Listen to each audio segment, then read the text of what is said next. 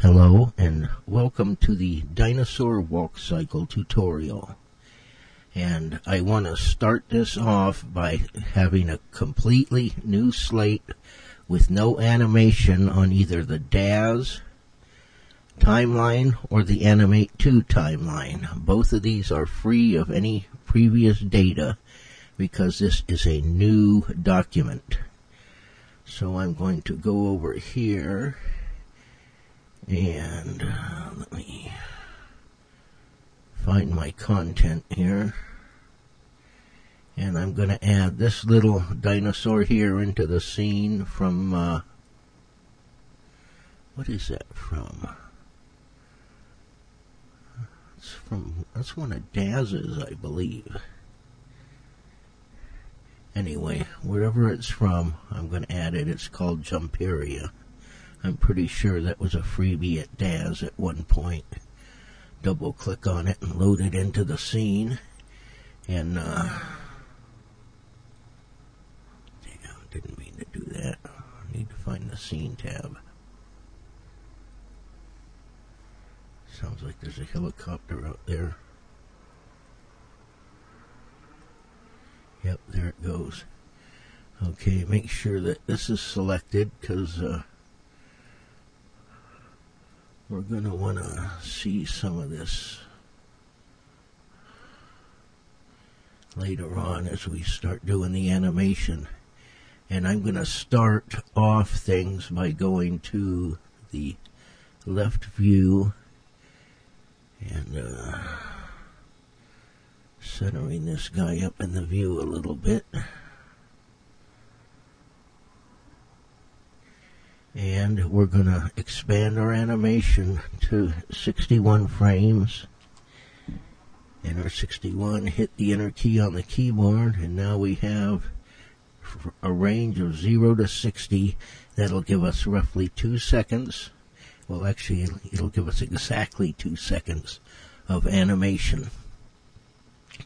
So we'll start off this here, and I'm going to start off by putting both legs in the most extended position to start off the walk cycle. And I'll show you how I'm going to do that. I'm going to start here. We'll move this one back.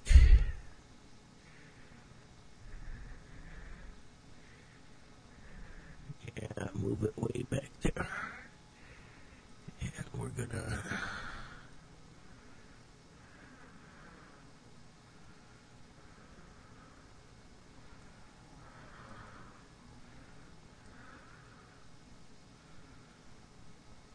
this guy down a little too before I'm done.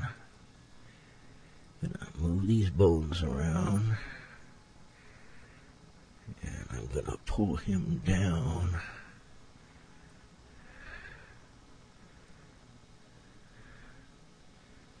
And put him on the ground plane again. And I'm gonna continue working with the feet and the legs. And I'm going to move that front one way the hell out there.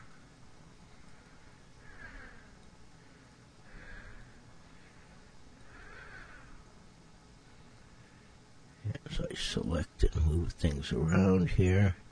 And now this is where I would imagine to be the, the rearward most position of one leg and the forward most position of the other leg.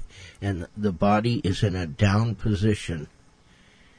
So we're going to start the cycle off by moving this leg here. And the first thing we got to do is we got to advance the slider out for 10 frames of animation. I'm going to select this leg. I'm going to bring it, oh, roughly about, uh, maybe a third of the distance. And I'm going to, uh, move that there. And I'm going to take him up a little bit. This leg is going to be the leg that is supporting the weight, and it's going to be the leg that we want to keep on the ground plane. So to do that, I'm going to select the hip, I'm going to go back into parameters, and I'm going to move it up.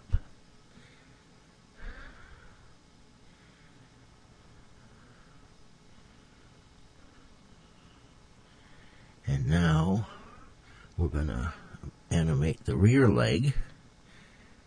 And with regards to the rear leg coming forward, we want to make sure we keep the foot up off of the ground. So we're going to be keeping our eye on that as we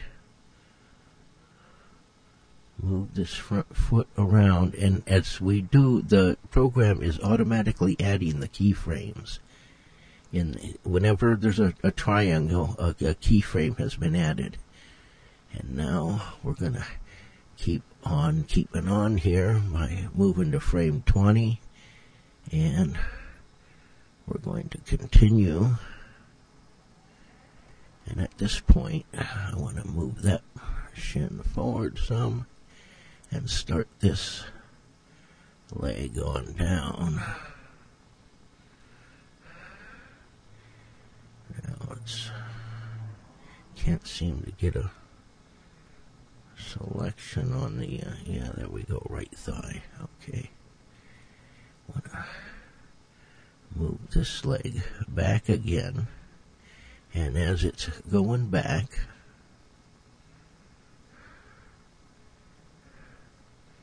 we want to uh, go into the thigh, I mean into the hip again, and we want to move it up a little bit more. I'm going to move that to uh, correspond just a little bit more. And we're going to do one more move, which will bring us to the halfway point. And once we reach the halfway point, this leg will need to be all the way back, and this leg will need to be all the way forward. So let's go ahead and take it to the halfway point move this leg.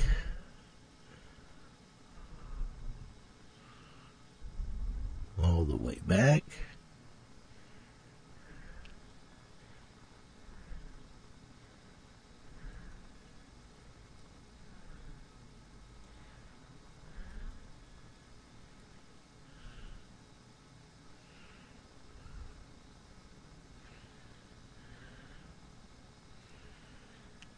This leg all the way forward.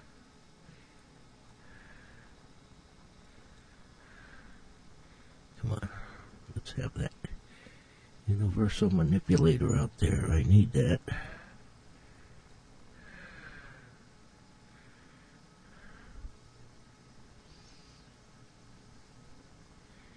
And you know what? At this point, we should also drop him to the ground again. So I'm going to bring this shin bone here. I'm going to bring that back up some. Gonna switch that, pull that up some, and then I'm going to drop him back down. Put him back down on the ground plane.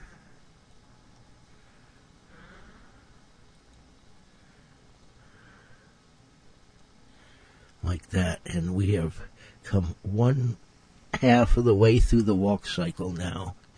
And what we will need to do is we will need to reverse it so we get back to where we were at the beginning. So we end up with them back here.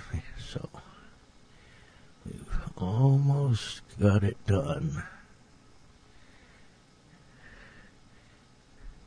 We want to make sure that the leg that is supposed to be on the ground is actually on the ground, and the one that's supposed to be not on the ground is actually up in the air. So let's advance 10 more frames, and we'll start the whole thing going again. Start moving this guy back.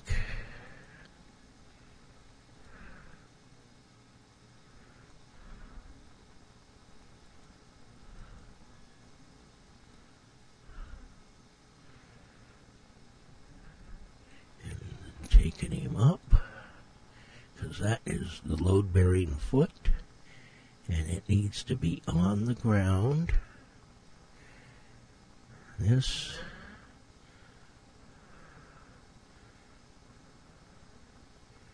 the non-load bearing foot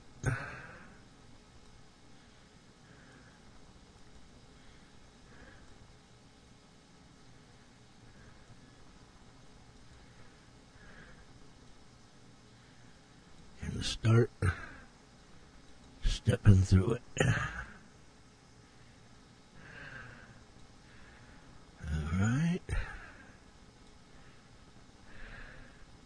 Take them 10 more frames.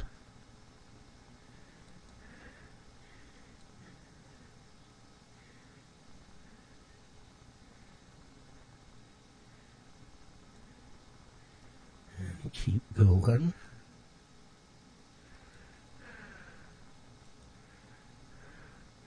I'm going to start bringing him down a Now,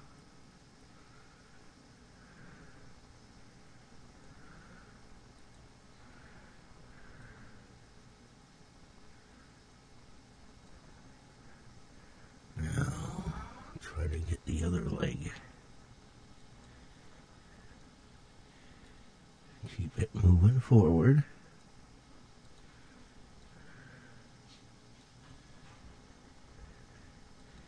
And to plant that foot on the ground so it will become the load bearing. Now we're going to advance to the end of the walk cycle. Gonna bring this guy back. Adjust the foot to be on the ground.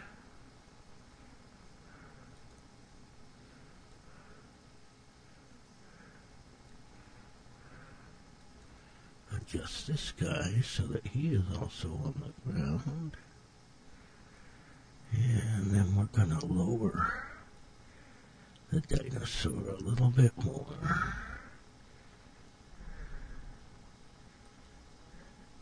Make everything touching the ground at this point.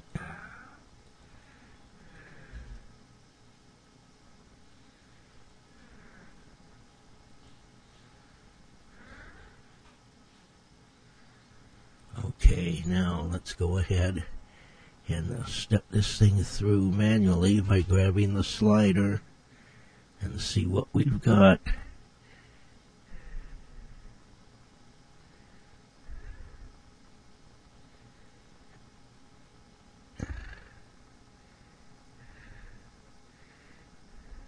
And basically through here we want to add some keyframes to bring this leg down to the ground surface so as I see this leg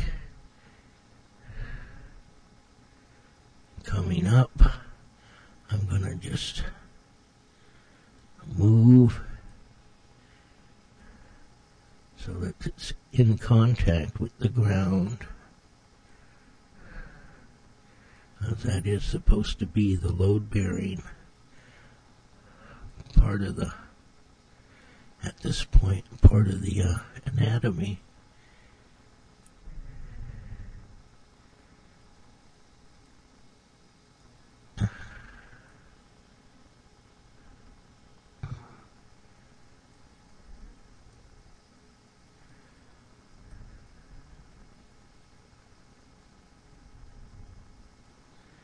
I'm going to step back now. Oh, that's as far as I can step back. Well, what do you know?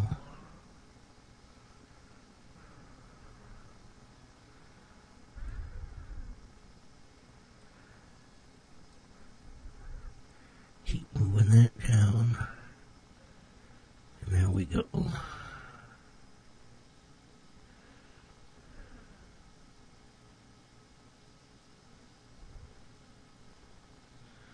Okay, now we also have a problem with that right there.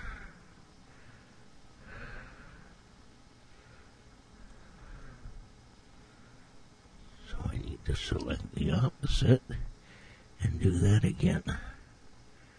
Move it down. Move it. Move it down.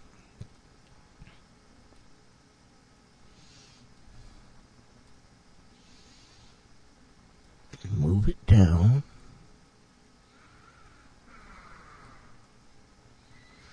Well, maybe move it up a little bit at that point. There we go. Both legs where they need to be. And we can set the thing to shuffle, move it to perspective view, and run him along.